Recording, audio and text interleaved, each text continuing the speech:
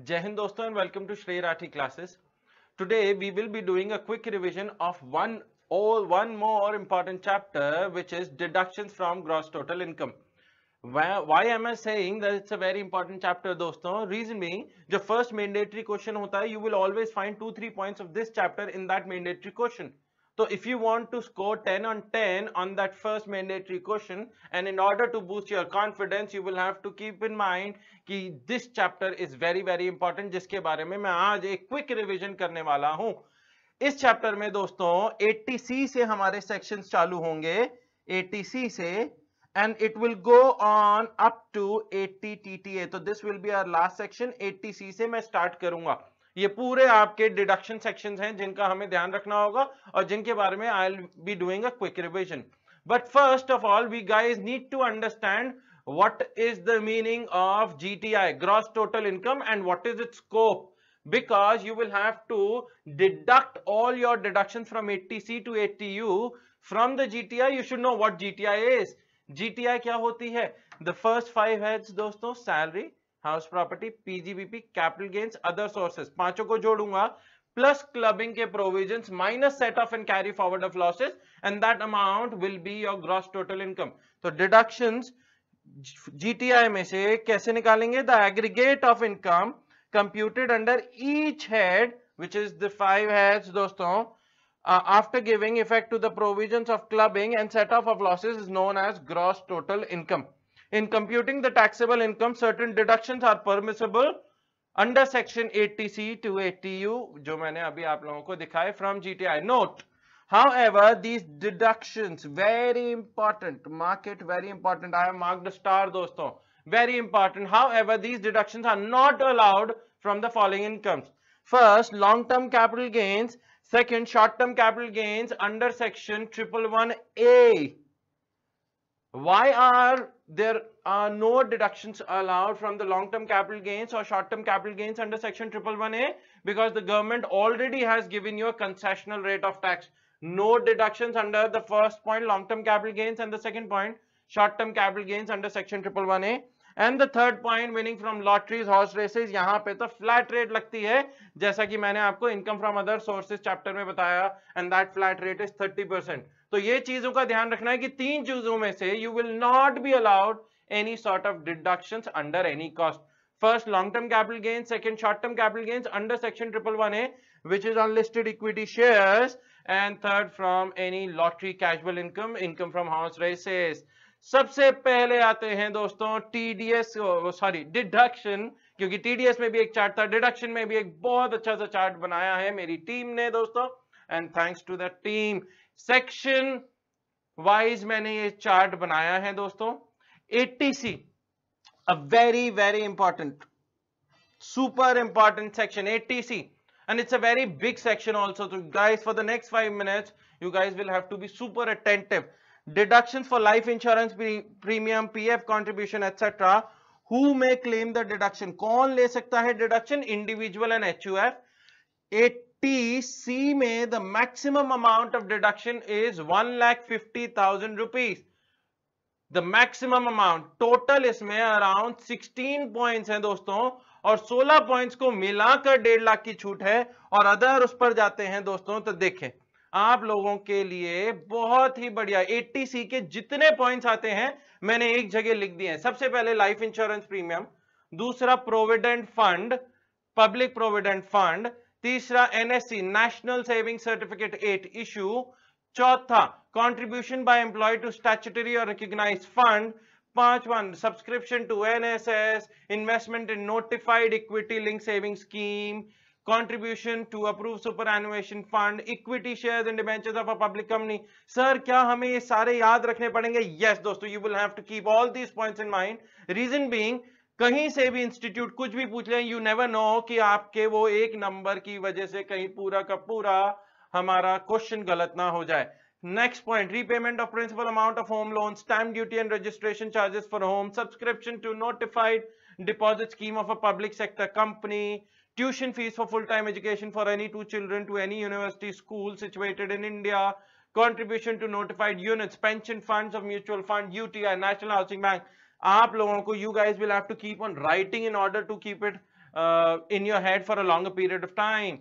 Any sum deposited under a time deposit for a period not less than five years, five years time deposit in an account under the post office time deposit rules 1981, subscription to notified central government securities जो कि सुकन्या समृद्धि account ऐसे हमारे सरकार ने plans निकाले हैं annuity plans of insurance company Jeevan Dhara Jeevan Akshay of L I C subscription to bonds issued by NABARD, amount paid in an account under the senior citizen saving scheme. तो ये सारे के सारे points दोस्तों now are on to your screen अब सबसे पहले discuss करते हैं what life insurance premium is तो लाइफ इंश्योरेंस प्रीमियम पर जाते हैं. Life insurance premium is basically an insurance policy कि अगर खुदा ना खास्ता मुझे कुछ हो गया देन मेरे घर वालों को they will they should be financially stable तो इन दैट केस मैं क्या कराता हूँ? अपनी लाइफ का इंश्योरेंस कराता हूँ। तो लाइफ इंश्योरेंस प्रीमियम डिडक्शन ध्यान देना प्रीमियम की मिलेगी।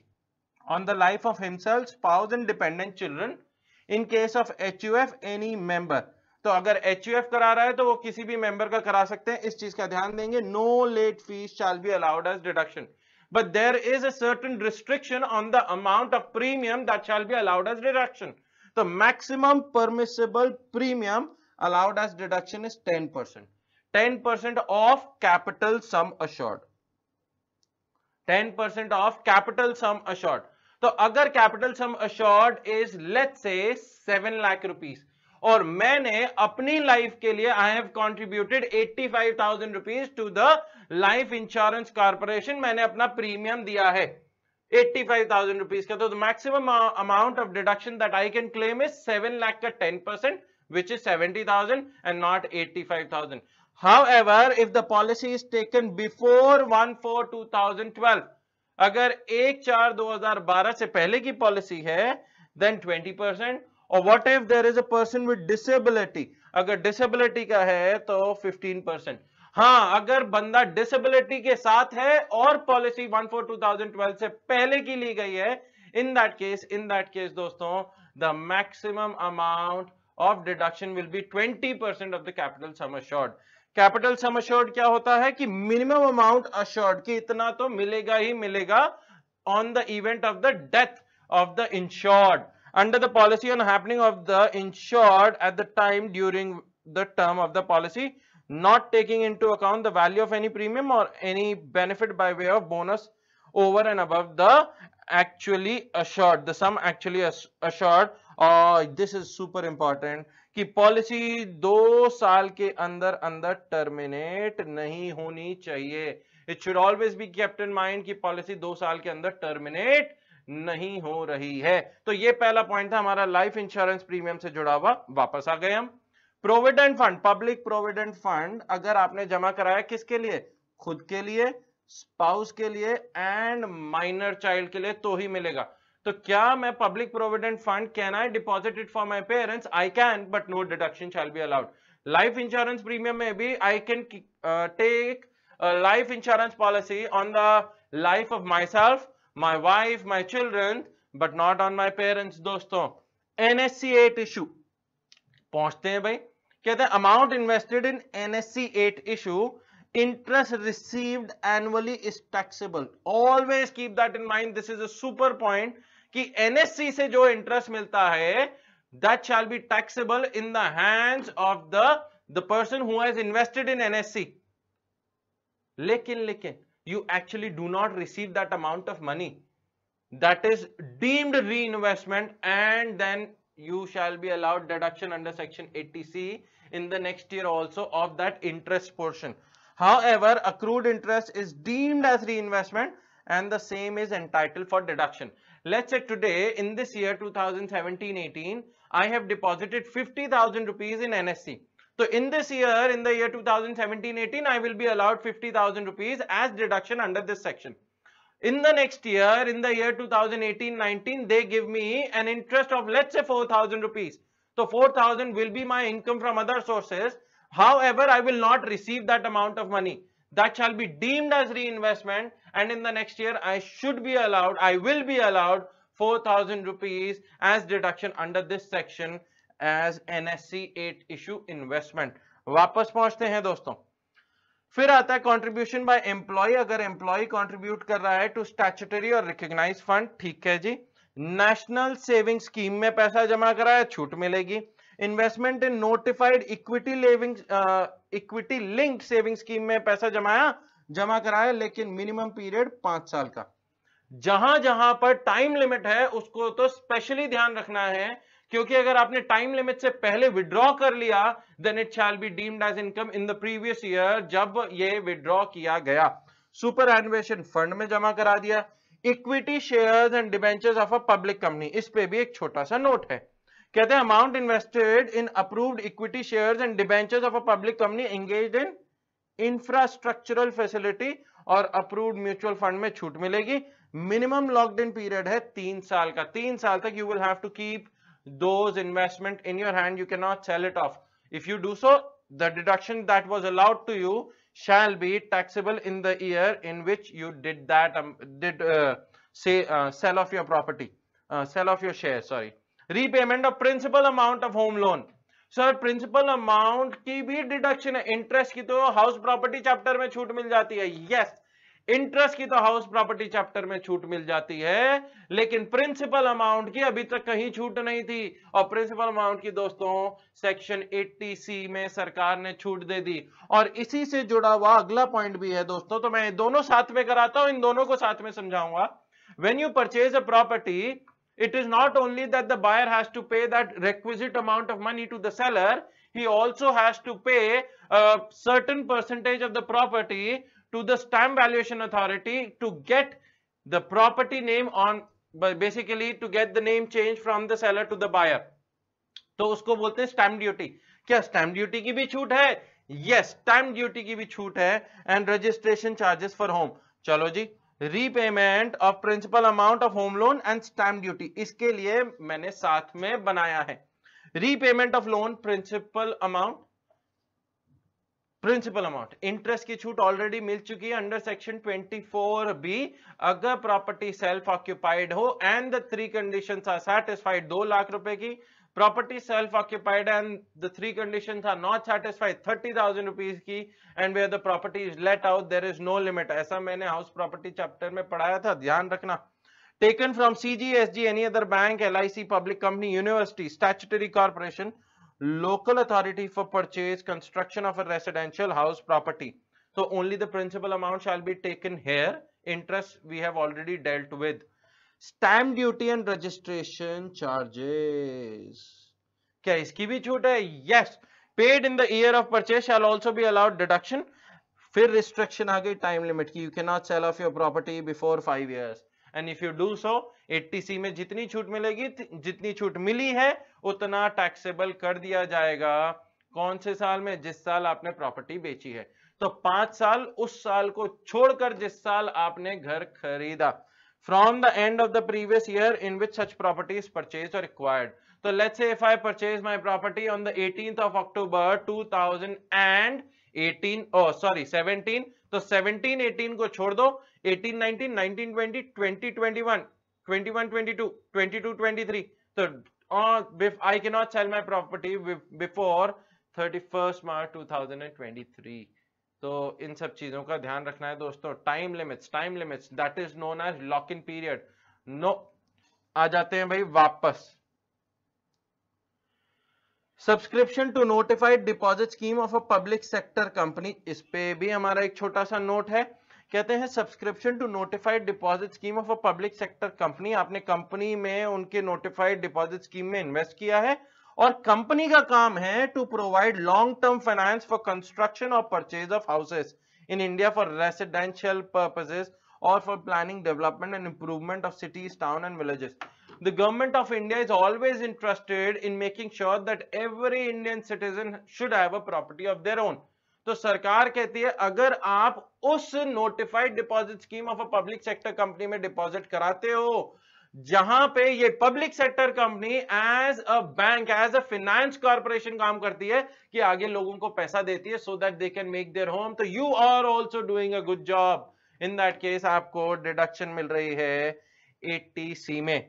Tuition fees for full time education दोस्तों फुल टाइम इसमें दोस्तों, हमारा कोर्स नहीं आता.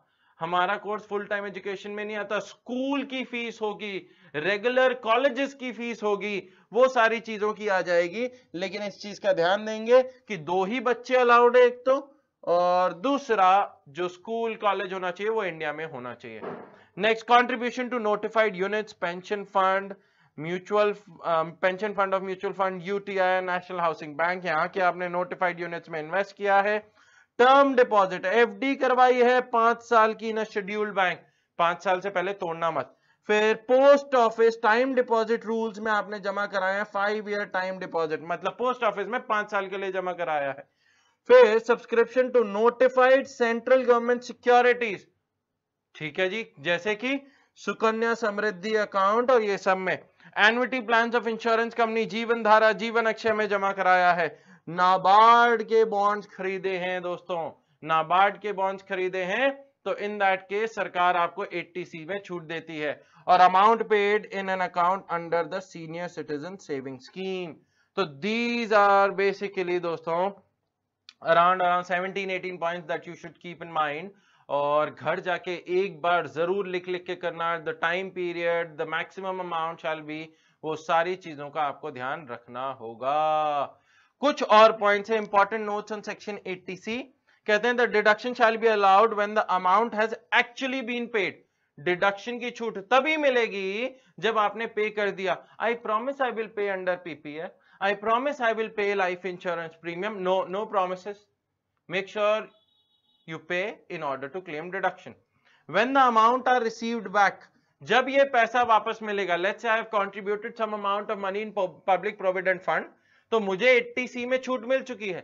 Let's say after a period of seven years मेरे को ये पैसा मिलता है तो क्या जब मिलेगा तब उसे टैक्सेबल किया जाएगा? No they are not suppose to be included in the total income of the assessee in all the above cases where the investment is time bound this is what I been saying for the past ten minute की अगर time limit से पहले you withdraw that amount of money in that case जितना भी deduction मिली थी eighty C में that shall be income in that previous year in which you prohibited the uh, time limit you crossed the time limit but the assessee withdraws the amount before the expiry of such investment then deduction allowed in past year shall be deemed to be income of the assessee of the previous year in which such withdrawals takes place okay दोस्तों कहते हैं हाँ sir चलो जी ये हमारा सबसे पहला section 80 सी complete हुआ now coming on to 80 CCC deduction for investment in pension fund, ये डिडक्शन सिर्फ़ इंडिविजुअल को एच को भी नहीं है, लिमिट यहाँ पे भी डेढ़ लाख की है as it was in eighty but you will see कि सरकार हमें कैसे आगे बुद्धू बनाती है। The deduction is allowed for amount deposited under an annuity plan of L I C और any other insure for receiving pension ठीक है जी? अमाउंट रिसीव्ड जितना भी अमाउंट रिसीव हुआ including interest from the insurance company shall be taxable.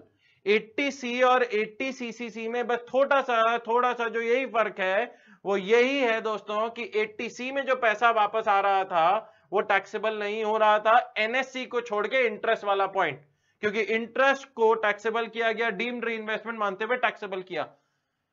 Deduction दी। यहाँ पर जितना भी अमाउंट आपको मिलेगा as pension from the insurance company shall be taxable in the year of receipt policy individual के नाम पर होना चाहिए और प्रीमियम भी वही देगा। तो खैर this is a comparatively less important section from eighty C लेकिन क्योंकि ये वाला जो चार्ट आपके स्क्रीन पर आ रहा है ये एक दूसरे के भाई बहन है 80C, 80CCC, 80CCD and 80CCE. You will see how finally they are interconnected to each next coming on to eighty CCD this is also very important sir आप तो सारे इंपॉर्टेंट मार्क करा रहे हो। मैंने कहा, दोस्त, इसमें से बहुत ज़्यादा पूछा जाता है। The institute asks quite good amount of question from these two section these two section are super important deduction for contribution to pension scheme this is notified pension scheme of central government और any other employer अब देखेंगे। Employ of central government तो किसको deduction मिलेगी? Central government को या any individual मतलब मैं भी आ जाऊँगा दोस्तों इस केस में। अब आता है अमाउंट डिडक्शन अमाउंट आ जाओ भाई। 80 सी सी डी और 80 सीसीडी में कहते हैं maximum deduction where you are contributing by yourself दोस्तों I am a self employed person does that mean I will never retire yes, i will retire after a period of time when become a buzurg insan an old man, and i'm not in a position to work any further, i will retire from what i am doing, that is, let's say, teaching. और जब मैं retire कर जाऊँगा, क्या मुझे पैसों की ज़रूरत नहीं पड़ेगी? बिल्कुल पड़ेगी। सैलरीड क्लास एम्प्लॉय में तो पीएफ कटता रहता है, जमा होता रहता है एम्प्लॉयर भी जमा कराता रहता है। लेकिन अगर आप खुद का काम कर रहे हो, लेकिन अगर आप खुद का काम कर रहे हो तो देर इज़ नो वन जो आपके लिए कंट्रीब्यूट करके आपके रिटायरमेंट की व्यवस्था कर रहा हो। And that is what you have to do by yourself और उसके लिए सेक्शन 80 सीसीडी बना दोस्तों। जहाँ पर सेल्फ एम्प्लॉयड पर्सन भी अपने लिए नोटिफाइड पेंशन स्कीम में जमा कराता रहेगा एनपीएस में जमा कराता रहेगा। और जब मैं बूढ़ा हो जाऊँगा as an man I be an aged human being मैं उस पैसे को यूटिलाइज करूँगा for the rest of my life so that मेरी आगे की ज़िंदगी सुखद निकले। Where a person employed by the CG or any other employer or a self employed individual has deposited any amount under a notified pension scheme he can claim deduction of amount deposited जितना amount deposit करा है ten percent of salary अगर मैं employ हूँ तो और twenty percent of G T I in case of self employed person अगर self employed person है या डेढ़ लाख रुपए विच एवर इज़ लेस तीनों में से जो सबसे कम होगा उसकी छूट मिल जाएगी। ठीक है जी। नेक्स्ट एडिशनल डिडक्शन मिली 80 सीसीडी 1बी में। And this is very important दोस्तों। एडिशनल डिडक्शन क्या कहती है? कहती है लेट से let's say my gross total income is 7 lakh rupees. So the maximum amount I can contribute in this is 20% of my GTI, gross total income, 1 lakh 40,000 rupees. Suppose I have contributed 1 lakh 80,000 rupees. I have contributed 1 lakh 80,000 rupees. I'll take you back on the previous uh, slide and I have contributed the amount deposited is 1 lakh 80,000 rupees. Uh, next 20% of GTI it is 1 lakh 40,000 rupees which is 20% of 7 lakhs or third to 1 lakh 50,000 ही है whichever is less and the least amount in this case is 1 lakh 40,000 rupees matlab if I have contributed even 1.8 lakhs, I will only be allowed deduction under section 80 CCD1 of 1 lakh 40,000. Reason being it is least of the following three. Correct? कहते हैं हाँ sir. What about the extra 40,000 that I have contributed? मैं गया मोदी जी के पास। मोदी जी, मैंने कहा I have contributed 1.8 lakh and you are only allowing me deduction of 1.4 lakh this is unfair उसी के लिए सरकार एडिशनल डिडक्शन लेकर आए अंडर सेक्शन 80 सीसीडी 1बी और वो कहाँ तक है एडिशनल डिडक्शन पचास हज़ार रुपए तक। What was the amount that I could not claim deduction under section 80 CCD 1 shall be allowed under section 80 CCD 1B subject to the maximum limit of 50,000 rupees. in respect of amount deposited by an individual assessee under NPS in the previous year, whether or not any deduction is allowed under section 80 CCD 1. But any amount allowed deduction under section 80 CCD 1 shall not be allowed deduction under section 80 CCD 1B.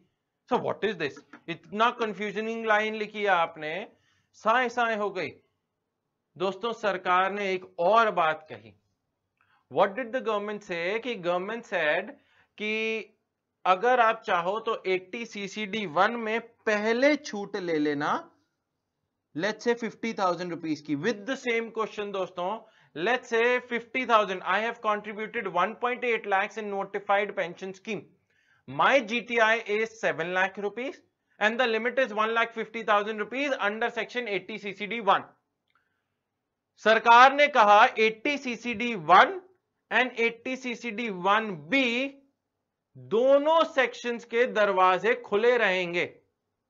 आप किसी भी एक section में पहले चले जाओ। Late say अगर मैं 80 सीसीडी 1 में पहला गया, जैसा कि अभी तक गया था तो least of the following three shall be allowed as deduction और जिसमें 1.4 लाख आ रहा था, मैंने कहा, ठीक है जी।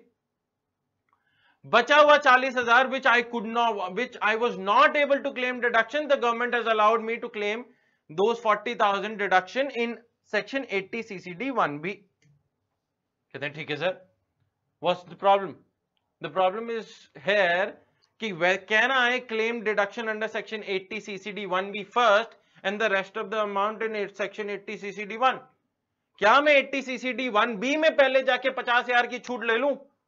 फिर जो बचेगा देख लूँगा 80 सीसीडी 1 में। Yes you can do that also आप 80 सीसीडी 1 बी में पहले पचास हज़ार रुपए की छूट ले ली। तो I have contributed one lakh eighty thousand rupees जिसमें से पचास हज़ार की छूट तो एट्टी सीसीडी वन बी में मिल गई। अब मैं वापस पिछली स्लाइड पे जाता हूँ। तो amount deposited will now be 1.3 point lakhs because I have already claim deduction under section 80 CCD 1 B of 50,000 thousand rupees twenty percent of GTI is 1.4 lakh and the limit is 1.5 lakh which of these is the least दोस्तों?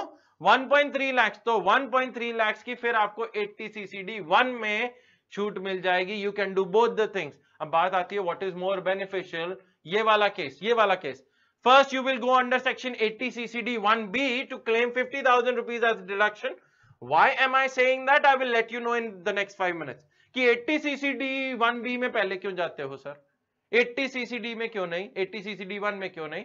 मैं अभी बताता हूँ। तो पहले हमेशा 80 CCD 1B में जाना, पचास हज़ार की छूट लेना। And then the rest of the amount की छूट इन लिमिट्स के हिसाब से which which ever is less वो देखा जाएगा। क्या क्लियर हुआ? कहते हैं यस सर ये तो खुद के कॉन्ट्रीब्यूशन की बात थी। वॉट इफ़ अगर मैं एम्प्लॉय हूँ और मेरा कोई एम्प्लॉयर भी है जो मेरे लिए कॉन्ट्रीब्यूट करता है? एम्प्लॉयर्स कॉन्ट्रीब्यूशन दोस्तों। 80 ccd 2 where the employer makes any contribution to his account the assessee can claim deduction of amount contributed by the employer and 10% of the salary of the employee whichever is less salary का यहाँ पे क्या मतलब है basic salary DNS allowance under the terms of employment only मतलब यहाँ पे दो ही चीज़ें आएँगी basic salary and DA under terms of employment forming part of salary लेकिन one very important point is ये वाला और ये कहते हैं because the employer is contributing for the employee is that a benefit to the employee yes absolutely so the amount contributed by the employer for the benefit of the employee shall be included in his gross salary shall be taxable under the head salaries. So let's say if I am investing some amount of money for T2, so the amount that I have invested will be included in T2's total salary. And then T2 shall be allowed a deduction of amount contributed by me or 10% of his salary whichever is less. देखिए जी, it shall be noted that full contribution made by the employer is included in the salary of the employee and then deduction is allowed only up to 10% of the salary. तो जब total salary निकालेंगे तो 80 CCD 2 में जितना मैंने contribute किया, जितना employer ने कंट्रीब्यूट किया for the benefit of the employee will be included in a salary और फिर नीचे डिडक्शन मिल जाएगी। क्या क्लियर हुआ? और डिडक्शन भी इन दोनों में से जो कम होगा उसकी मिलेगी। आ जाते हैं वापस। 80 सीसीई दोस्तों, है छोटा सा सेक्शन लेकिन धमाकेदार। और कहता है limit on deduction under section 80 C 80 C CCC and और कहते हैं all those who can claim इस सेक्शन में और मैक्सिमम से मैक्सिमम डेढ़ लाख. व्हाट वाज दैट मतलब 80 सी 80 सीसीसी और 80 सीसीडी 1 वन को मिलाकर the maximum amount of deduction that you can claim is 1.5 lakhs only that is why am saying कि धमाकेदार सेक्शन है। मतलब सर, दो पॉइंट जो लास्ट में पढ़ाया आपने, एक तो additional deduction under section 80 CCD 1बी and 80 CCD 2 contribution by the employer वो तो नहीं आता ना डेढ़ लाख में, वो नहीं आता। इसीलिए तो मैंने कहा था आप लोगों से कि first and claim deduction under section 80 CCD 1बी so that पचास हज़ार तो सिक्योर हो जाए और उसके लिए तो कोई लिमिट नहीं है। Total deduction total deduction under section 80 C CCC and CCD one और ये वन है सेल्फ कंट्रीब्यूशन वाला, इनमें तीनों में से जो लीस्ट लेते हैं वो वाला। एडिशनल वाला नहीं है। Except contribution by SSC under section 80 CCD 1बी which is additional deduction and contribution by employer cannot exceed 1.5 lakhs. ये है इंपॉर्टेंट सेक्शन दोस्तों मतलब ये भी इंपॉर्टेंट है। कहने से सारे इंपॉर्टेंट मार्क करा दिए, दोस्त, जो जो इंपॉर्टेंट होंगे, वो तो कराऊँगा ही कराऊँगा. Eighty CCG next section deduction for investment in Rajiv Gandhi equity saving scheme who can claim a resident individual being retail investor जिसकी जीटीआई 12 लाख रुपए तक की है? तो one who has exceeded of 12 lakh rupees can never claim deduction under section 80 CCG deduction की कितनी है? 50 percent of the investment by him but maximum up to 25,000 rupees तो let's say if I contribute 30,000 rupees in section 80 CCG तो कितने की छूट मिलेगी? 50 percent of 30,000 which is 15,000 और 25,000 विच एवर इज़ लोअर तो 15,000 रुपए की छूट मिलेगी। Such deduction shall be allowed for three consecutive assessment years मतलब डिडक्शन तीन सालों तक मिलेगी। कंट्रीब्यूट एक बार करोगे डिडक्शन तीन सालों तक लोगे। Starting with the assessment year relevant to previous year in which such investment was first made तो तीन सालों तक की आपको छूट है, लेकिन दोस्तों now from assessment year 2017-18 it has been shut down close कर दिया गया इस सेक्शन को। सर क्लोज कर दिया गया? मैंने तो पिछले साल 2016-17 में इसमें कंट्रीब्यूट किया था। तो 2016-17 में डिडक्शन मिल जाएगी। और आप कह रहे हो तीन साल तक मिलेगी मतलब 2017-18 एंड 2018-19 में भी डिडक्शन मिलनी चाहिए। लेकिन आप कह रहे हो 2017-18 में इसे शट डाउन कर दिया गया, बंद कर दिया गया। गुड पॉइंट गुड पॉइंट दोस्तों। इन दैट केस जिन्होंने 2017-18 से पहले मतलब 2016-17 में या 2015-16 में कंट्रीब्यूट किया है, सिर्फ़ उन्हीं के लिए 2017-18 में भी ये सेक्शन खुला हुआ है। But all those who are investing for the first time in this section 80 ccg उनको इस साल में कोई छूट नहीं मिलेगी। और इसी के लिए लिखा गया है for notes refer next slide payment is made regarding specified listed equity shares minimum period इसका तीन साल का है। अगर तीन साल से पहले विड्रॉ करोगे तो आपकी टोटल इनकम में जोड़ देंगे। ये तो नॉर्मल सी बात है। तीन साल तक बेचना नहीं है। तीन साल तक इसे सेल ऑफ़ नहीं करना। और ऐसा करते हो तो जितनी डिडक्शन अभी तक दी है, सारी इनकम बन जाएगी। मगर जो इंपॉर्टेंट पॉइंट आता है वो ये रहा।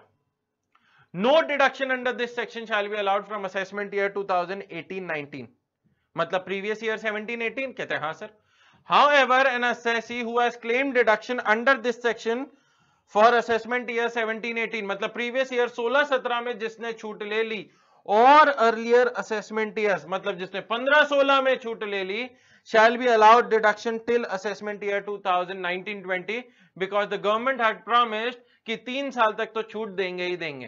तो for all those have invested under section 80 CCG before the financial year before the previous year 2017-18 उनके लिए तो ये सेक्शन अभी भी चल रहा है। लेकिन लेकिन all those who are investing under section 80 ccg in rajiv gandhi equity saving scheme for the first time in the previous year 2017-18 nana no deduction ठीक है जी if he is otherwise eligible to claim deduction as per the provisions of this section मतलब obvious सी बात है बाकी condition satisfy हो जानी चाहिए 80d दोस्तों medical insurance premium this is also important this is also important क्योंकि इससे भी पूछा जाता है डिडक्शन इंडिविजुअल एच को है। 25,000 की मैक्सिमम डिडक्शन है। लेकिन अगर सीनियर सिटीजन होंगे तो लिमिट को 30,000 कर दिया गया फॉर सेल्फ स्पाउस और dependent children and H plus mummy papa के लिए अलग से है। प्लस है। मतलब the maximum amount of deduction under section 80 D can be 60,000 मैं सीनियर सिटीजन हूँ तो मम्मी पापा तो ऑब्वियसली सुपर सीनियर सिटीजन भी आ जाएँगे। तो 30,000 मैं खुद के लिए भी ले सकता हूँ और 30,000 मम्मी पापा के लिए भी ले सकता हूँ। लेकिन what if the parents are not senior citizen तो 25,000 सीनियर सिटीजन है तो 30,000 for resident parents this deduction is allowed for payment of medical insurance premium of self spouse parents whether dependent or not children only dependent. ये important line है. Mummy papa के लिए तो लेंगे लेंगे वेदर डिपेंडेंट और not children only dependent and or any member of HUF or any contribution made to central government health दोस्तों। और इसमें, दोस्तों, अभी जो हमारी आरटीपी आई थी, उसमें एक ये अमेंडमेंट भी था, यहाँ पे लिख लेंगे प्लस एटॉमिक एनर्जी वगैरह में अगर आप कंट्रीब्यूट करते हैं एटॉमिक एनर्जी में कंट्रीब्यूट करते हैं, दोस्तों तो वहाँ पर भी छूट मिलेगी अंडर सेक्शन 80 डी कुछ इसमें भी इंपॉर्टेंट पॉइंट्स है, दोस्तों। 80 डी के जुड़े हुए notes CGHS benefit is only available to an individual ये ध्यान रखेंगे। CGHS central government health scheme सिर्फ़ इंडिविजुअल को ही अलाउड है। And only in respect of health insurance policy taken for himself individual spouse and dependent children मतलब CGHS if contributed for parents or CGHS contributed by HUF shall not be allowed. Therefore, contributed by HUF an individual for his parents towards CGHS shall not be allowed deduction. Next, payment on preventive health checkup ये बहुत अच्छा point सरकार ने उठाया। सरकार कहते हैं अस्पताल तभी मत जाओ जब चोट लगे। Let's take some precautions before the cure सरकार ने कहा हर साल एक बार इंसान को हॉस्पिटल जाके अपना फुल बॉडी चेकअप कराना चाहिए।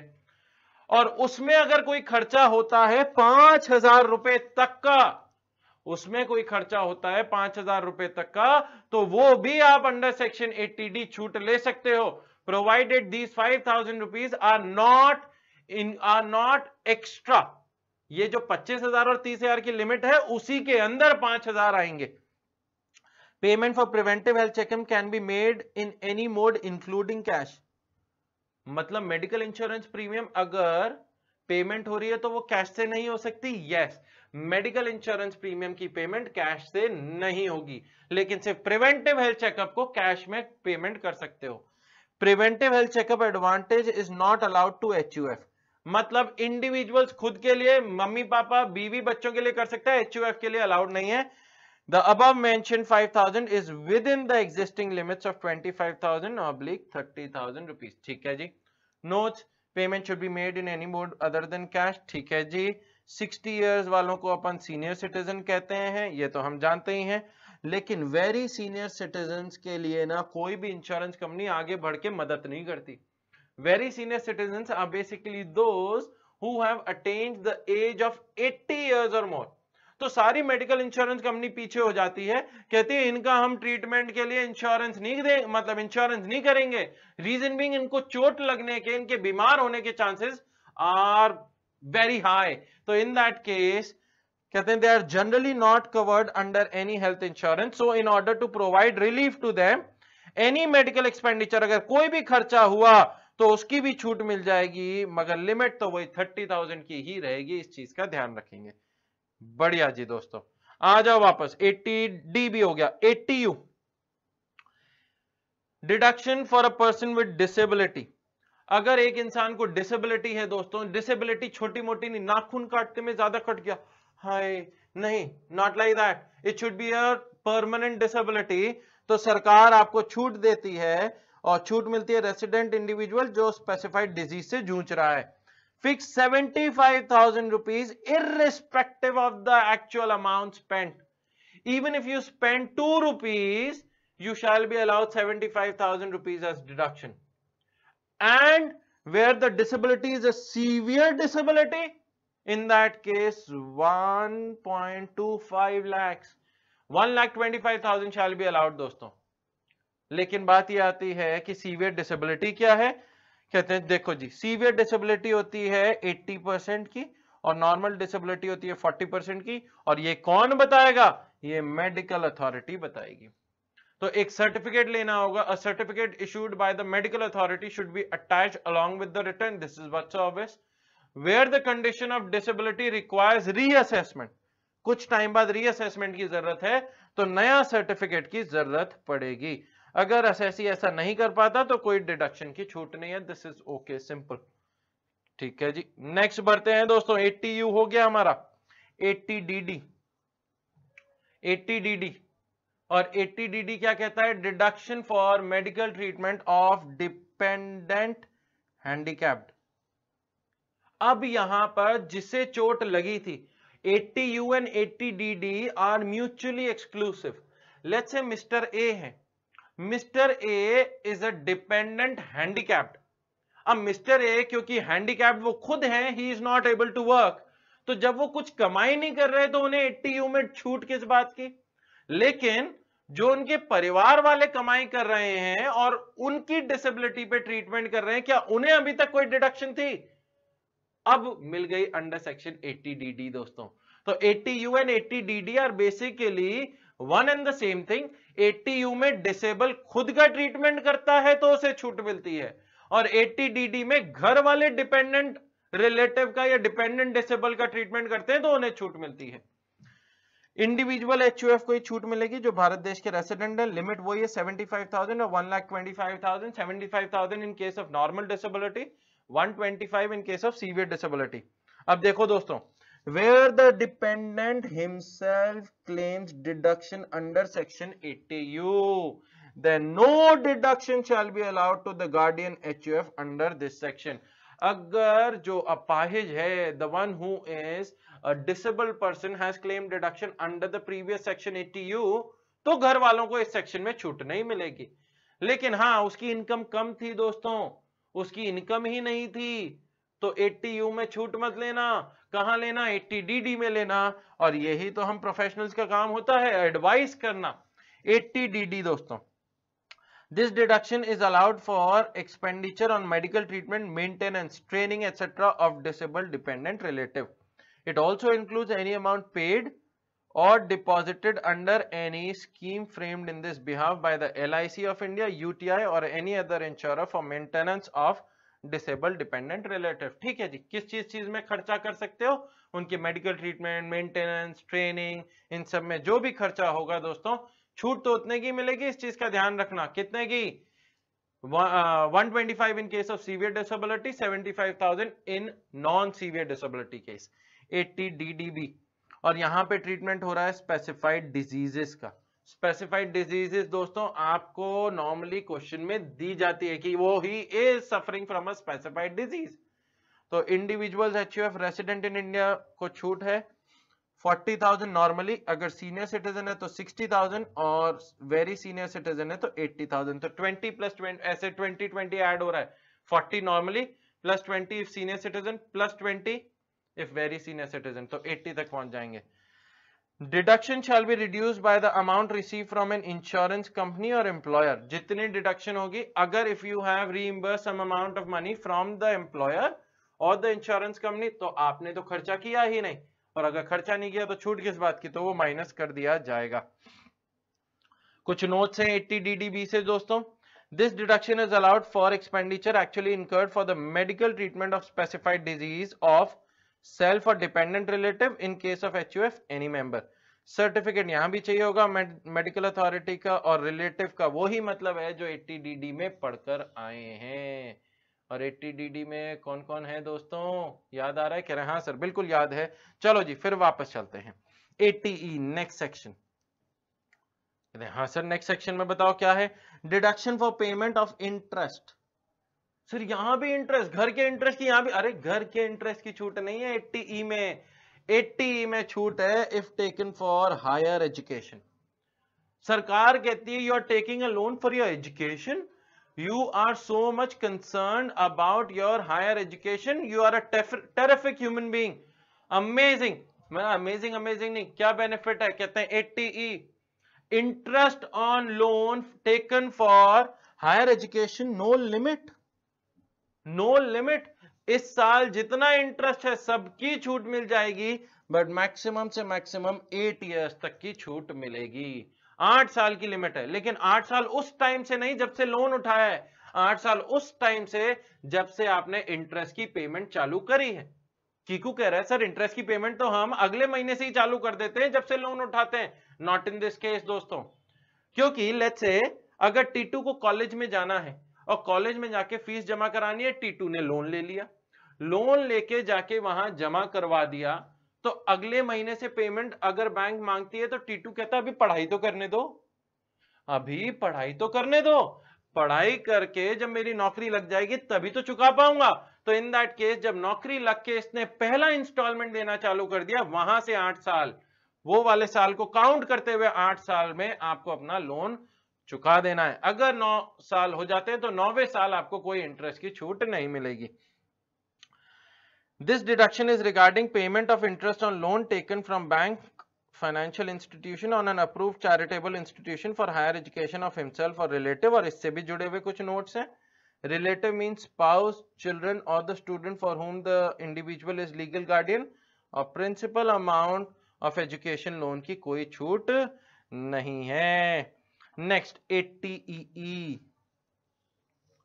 अब ये आता है interest on loan taken for residential house property कहते हैं, सर, इसकी छूट तो वहाँ भी थी। Interest on loan taken for residential house property was allowed deduction under section 24 B in the name of interest on borrowed capital यहाँ भी एक ही अमाउंट की दो बार छूट है। नहीं दोस्तों, एक अमाउंट की दो बार छूट नहीं है। मैं उसके लिए बहुत आसान सा आप लोगों के सामने या आप लोगों से बात करते वक्त एक चार्ट बना रहा हूँ। लेट से दोस्तों, मैंने अपने घर के लिए लोन लिया और घर बनने के बाद मैंने ये घर लेट आउट कर दिया। लेट आउट कर दिया तो इंटरेस्ट की क्या कोई लिमिट थी? नहीं सर इंटरेस्ट की कोई लिमिट नहीं होती। तो 100 परसेंट इंटरेस्ट की डिडक्शन अगर सेक्शन 24 बी में मिल जाएगी तो इस चैप्टर में आने की ज़रूरत नहीं है। एट्टी ई में नहीं आएँगे। लेकिन अगर प्रॉपर्टी सेल्फ ऑक्यूपाइड थी the maximum amount of deduction subject to the satisfaction of three condition दो लाख रुपए की छूट है अगर आपका इंटरेस्ट था दो लाख चालीस हज़ार रुपए और प्रॉपर्टी सेल्फ ऑक्यूपाइड है तो the maximum amount of deduction that you could have claimed under the house property chapter must be 2 lakh rupees. What about the 40,000 extra that you have paid?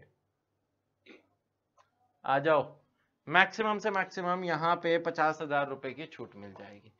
मतलब basically ये self occupied property के लिए ही case बना है। लेकिन इसमें बहुत सारी कंडीशंस हैं जिनका ध्यान रखना होगा। क्या interest is payable on loan taken for construction और परचेज ऑफ़ हाउस प्रॉपर्टी मतलब रिपेयर रेनोवेशन अलाउड नहीं है। लोन का अमाउंट 35 लाख से ज़्यादा नहीं होना चाहिए। प्रॉपर्टी का अमाउंट 50 लाख से ज़्यादा का नहीं होना चाहिए।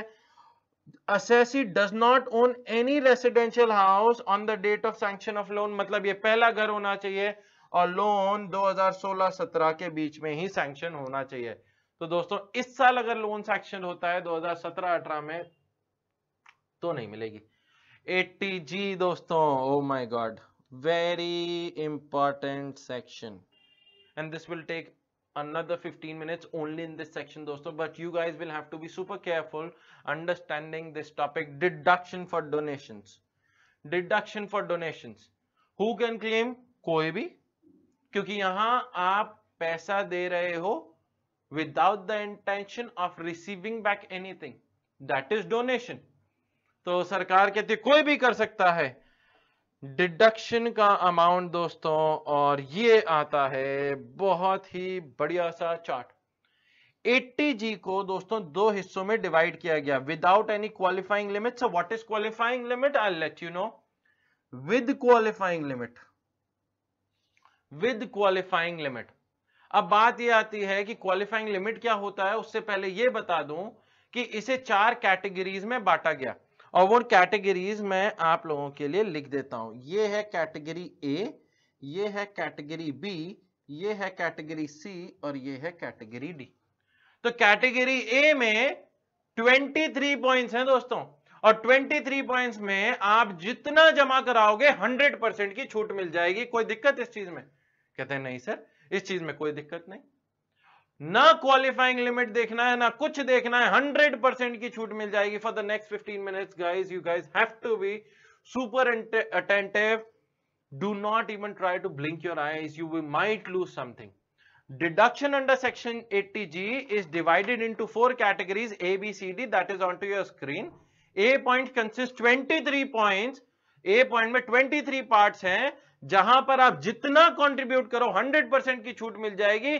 आपको ना दाएँ देखना है, ना बाएँ देखना है। You do not have to look anywhere you shall be allowed 100 percent deduction without any qualifying limit which I am suppose to tell you in the next ten minutes category B में category B में जितना contribute करोगे, उसकी 50 percent की छूट मिलेगी। Qualifying limit यहाँ भी नहीं देखनी। कैटेगरी सी में दो पॉइंट्स आते हैं। उनमें डोनेशन करोगे, उनमें पैसा लगाओगे then you shall be allowed 100 percent deduction subject to qualifying limit what is qualifying limit दोस्तों, I'll let you know. You guys will have to trust on me. Category D में 50 percent की छूट है category D में 50 percent की छूट है, और वन टू थ्री फोर चार पॉइंट्स है, चार पॉइंट्स हैं दोस्तों, और यहाँ पर भी क्वालिफाइंग लिमिट आपको चेक करनी पड़ेगी। अब मैं आता हूँ वापस कैटेगरी ए पर। अभी मैंने क्वालिफाइंग लिमिट रोक रखा है। चलो जी कैटेगरी ए में वो 23 पॉइंट्स क्या हैं दोस्तों? मैं आपको ये 23 4 2 4 33 पॉइंट्स आप लोगों को कैसे याद कराऊँगा दोस्तों चुटकियों में? You guys should keep that in mind दोस्तों। ठीक है जी? चलो जी 23 पॉइंट्स पर एक बार झलक मार लेते हैं दोस्तों। और मैं आप लोगों के लिए सिर्फ़ एक बार ये रीड आउट कर देता हूँ सो so दैट एक बार दिमाग में सेटअप हो जाए। सबसे पहले national defence fund set up by the CG prime minister national relief fund prime minister Armenia earthquake relief fund Africa public contribution India fund national foundation for communal harmony and approved university educational institution of national eminence Maharashtra chief minister earthquake relief fund fund set up by Gujarat government for providing relief to the victims of Gujarat earthquake, Zilla Sakshart Samiti constituted in any district, the National Blood Transfusion Council or any state blood transfusion council, any fund set up by a state government to provide medical relief to the poor, the Army Central Welfare Fund or the Indian Naval Benevolent Fund or the Air Force Central Welfare Fund, National Illness Assistance Fund, the Chief Minister's Relief Fund or the Lieutenant Governor's Relief Fund in respect of any state or union territory as the case may be, National Sports Fund set up by the CG, National Cultural Fund set up by the CG, Fund for Technology Development and Application, National Trust for Welfare of Persons with Mental Retardation and Multiple Disabilities. Kiku, you will find yourself here. कहते हैं sir ऐसे मत बोलो. National Children Fund, the Andhra Pradesh Chief Minister Cyclone Relief Fund 1996, national fund for control of drug abuse T two कहते हैं, क्या sir, मेरे को, मैं नहीं आ पाता।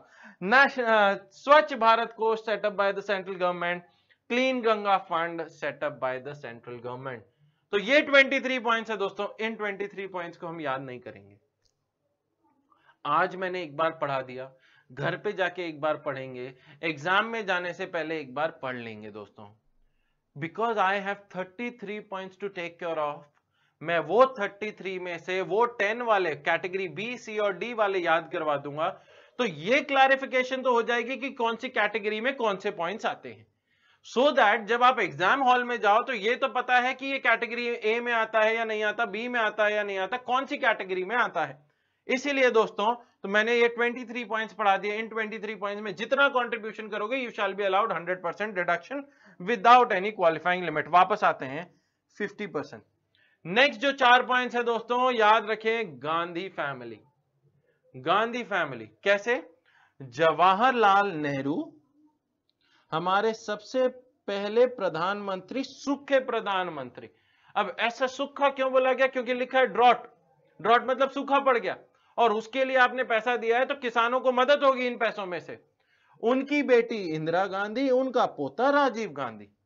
तो जवाहरलाल नेहरू हमारे सबसे पहले सूखे प्रधानमंत्री, उनकी बेटी इंदिरा गांधी, उनका पुत्र राजीव गांधी। कैटेगरी बी याद हो गई दोस्तों।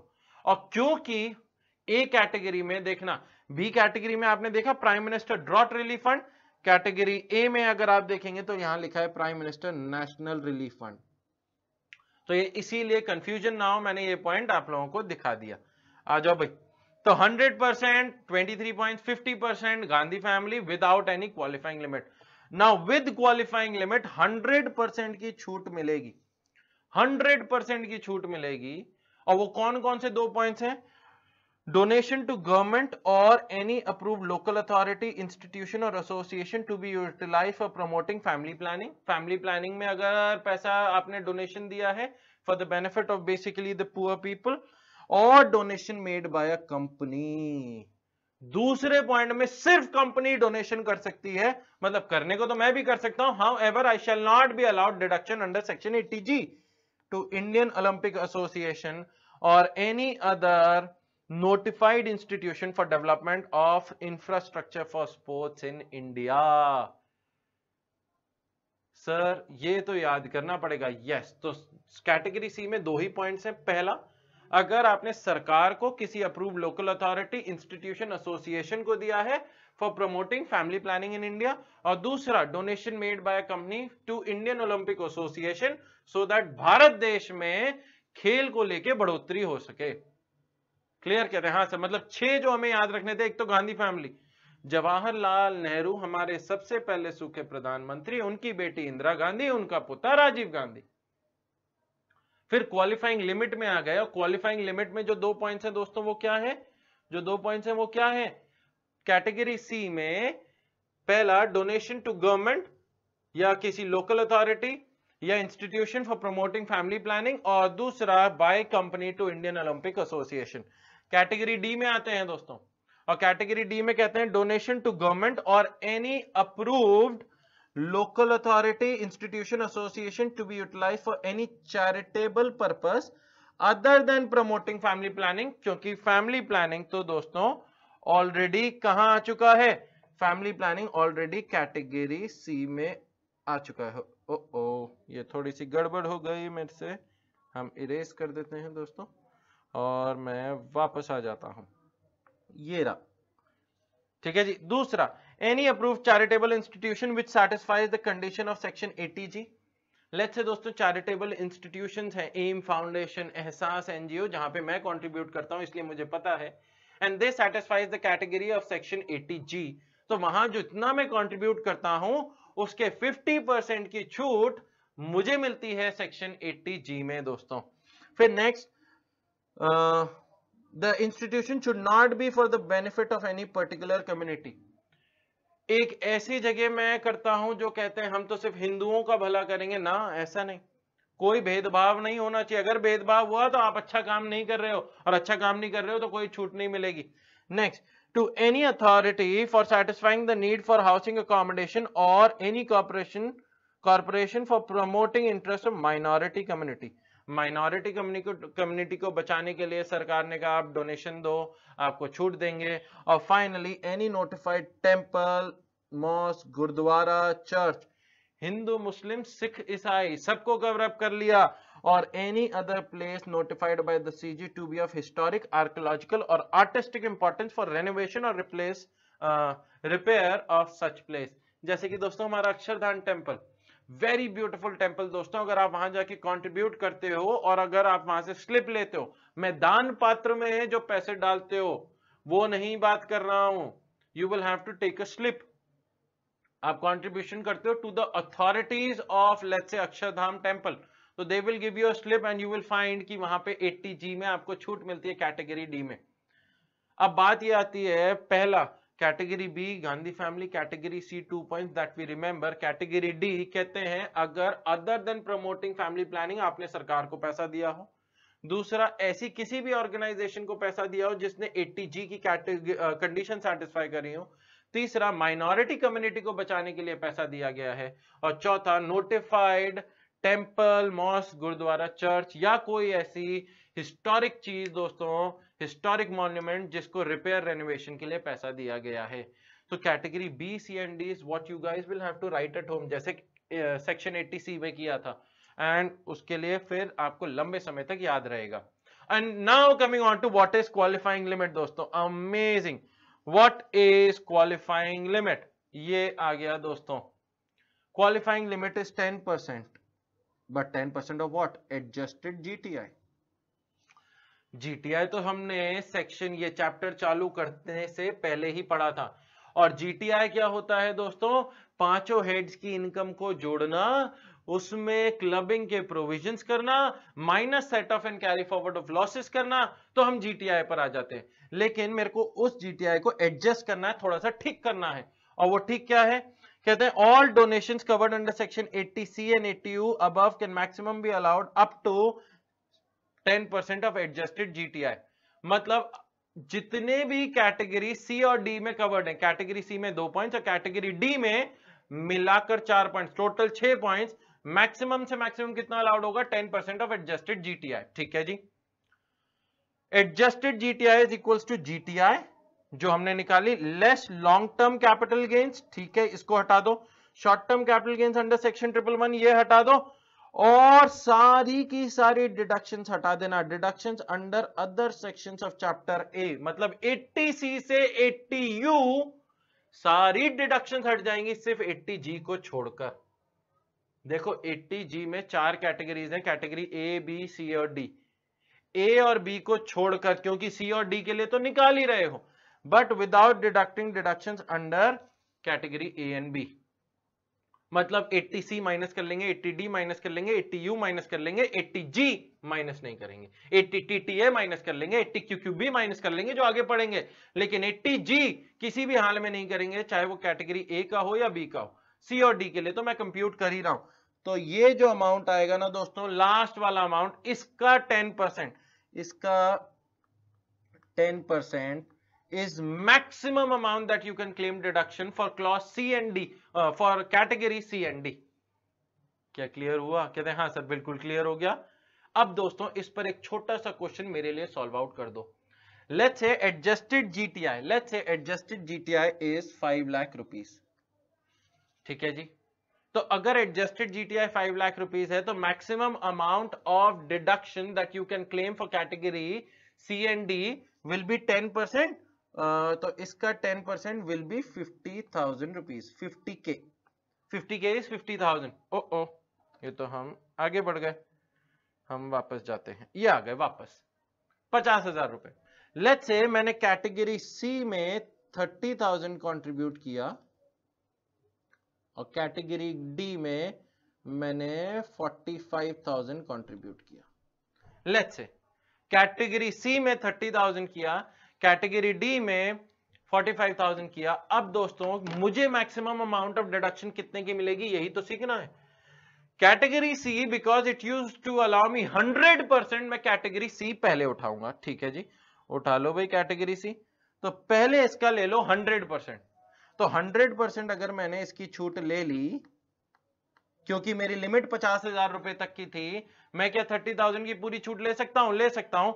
तो पचास हज़ार में से थर्टी थाउज़ेंड माइनस कर लिया मैंने, थर्टी थाउज़ेंड मैंने माइनस कर लिया तो now the new limit is twenty thousand मतलब कैटेगरी सॉरी कैटेगरी डी के लिए the maximum amount is twenty thousand rupees तो क्या मैं ट्वेंटी थाउज़ेंड की छूट ले सकता हूँ? टी टू कहते हैं हाँ सर, ले सकते हो। मैंने कहा, कैसे निकाला? कहते हैं, sir forty five thousand rupees का फिफ्टी परसेंट करा क्योंकि कैटेगरी डी में फिफ्टी अलाउड है। तो फोर्टी फाइव थाउज़ेंड का fifty percent will be twenty two thousand five hundred लेकिन twenty two thousand five hundred की नहीं मिलेगी, क्योंकि अब लिमिट ट्वेंटी थाउज़ेंड की ही रह गई है। क्या मैं सही बोल रहा हूँ, सर? नहीं, दोस्त। You are not right you are not right कहते सर, सही तो बोला मैंने। मैंने कहा, नहीं, यही एक पंच पॉइंट होता है and there is where the students go wrong तो सर, सही क्या है?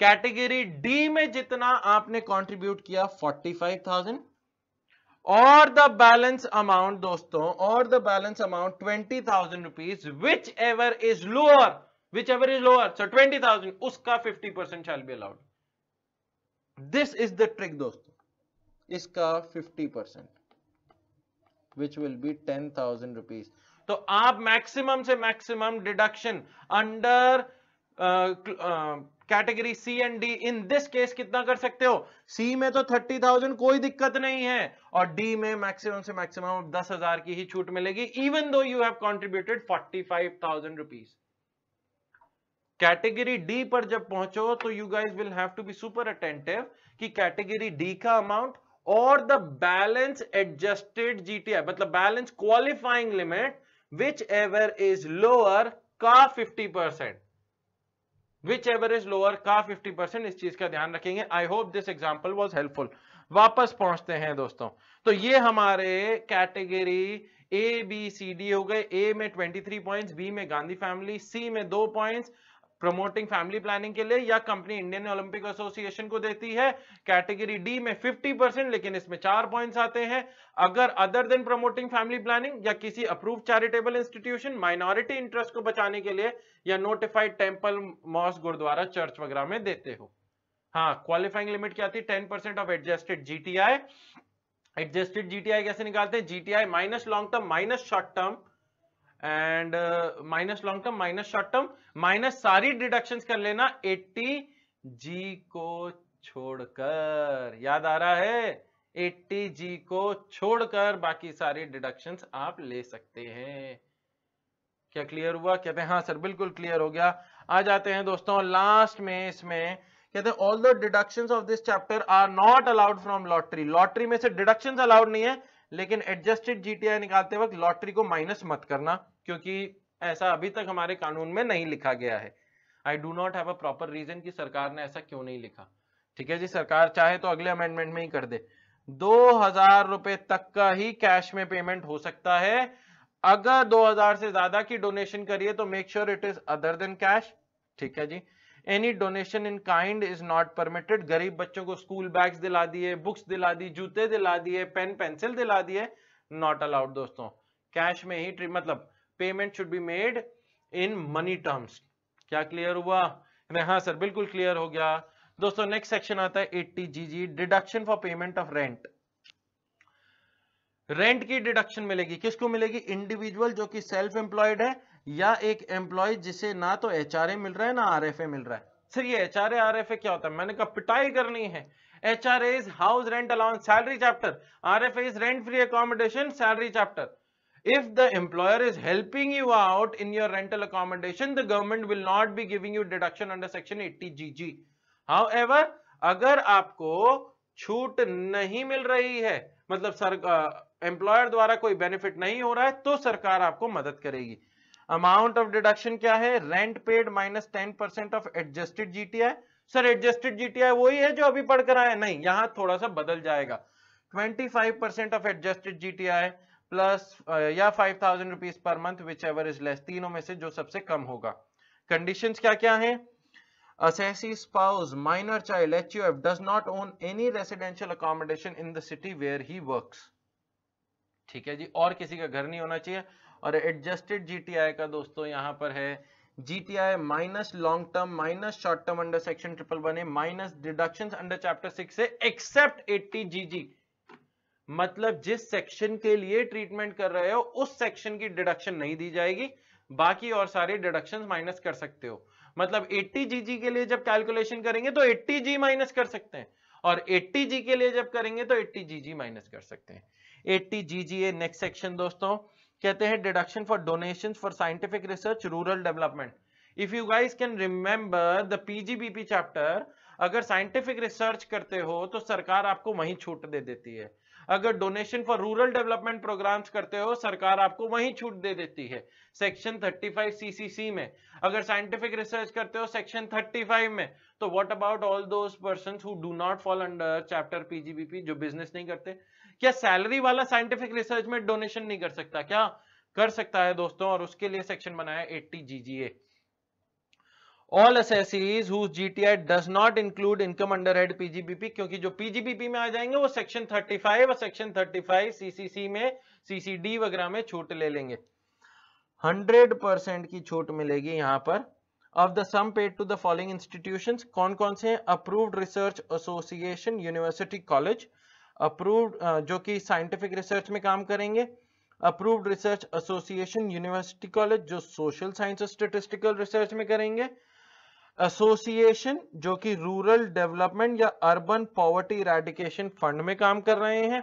Public sector company local authority for carrying out eligible project है दोस्तों। ओ, ओ ये फिर हम वापस आ गए।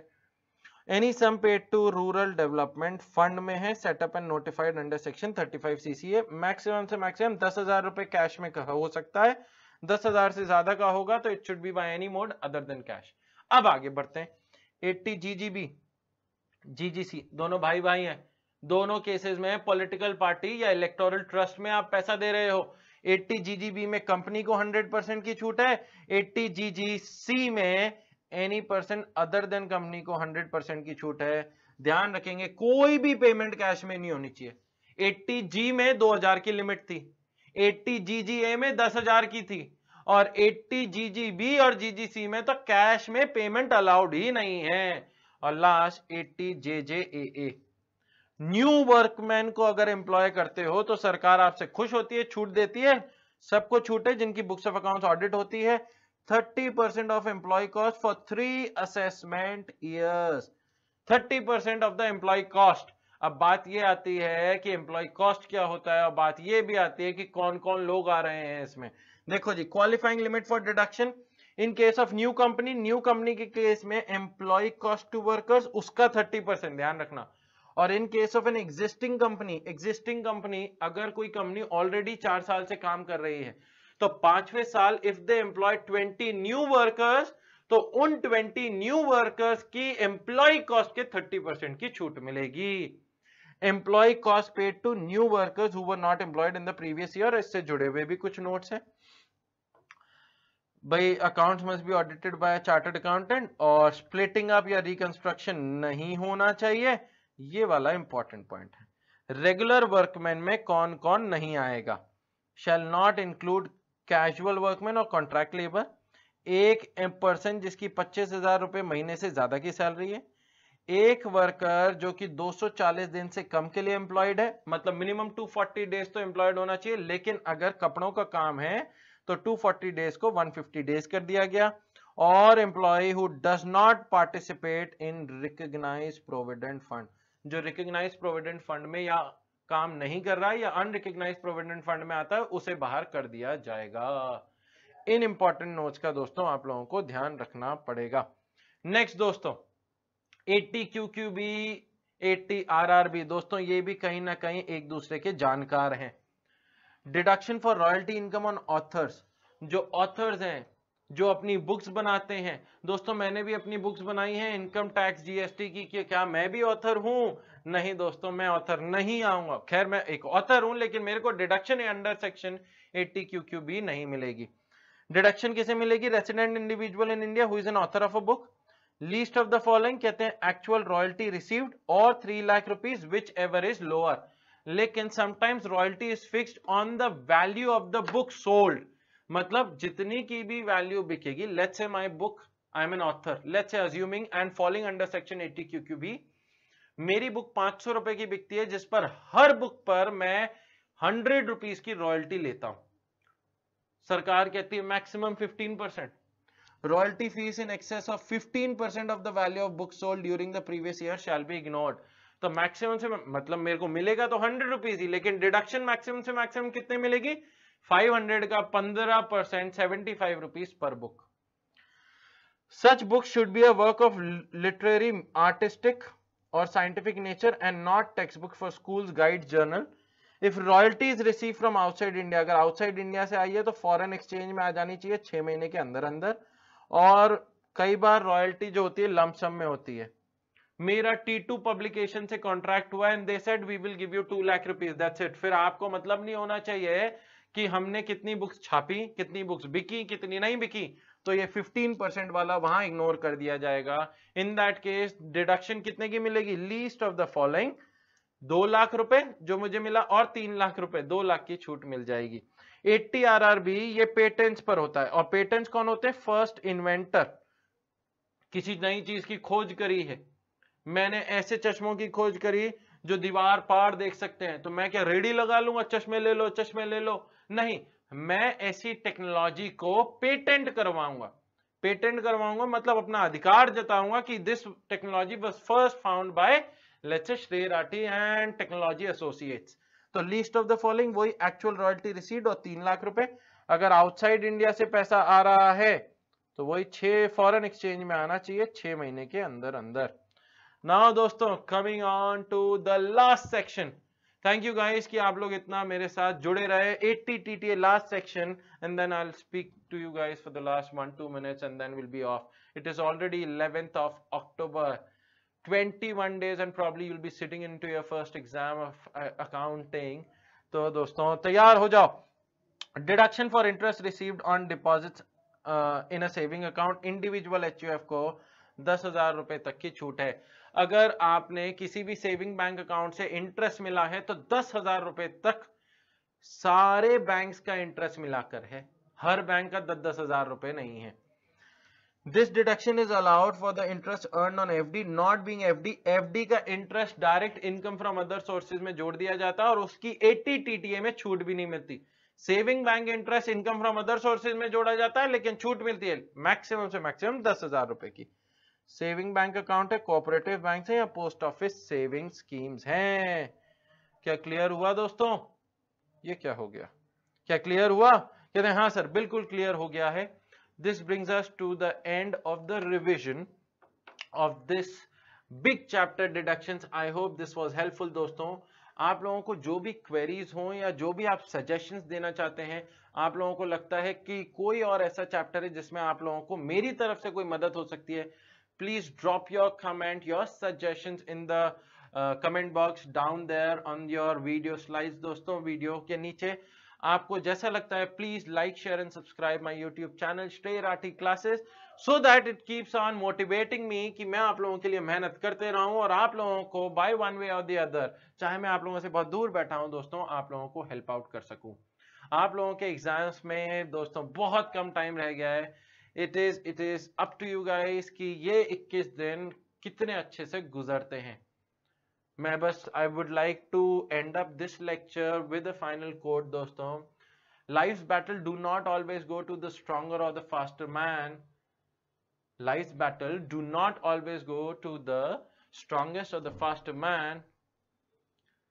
But the one who wins is the one who says he can.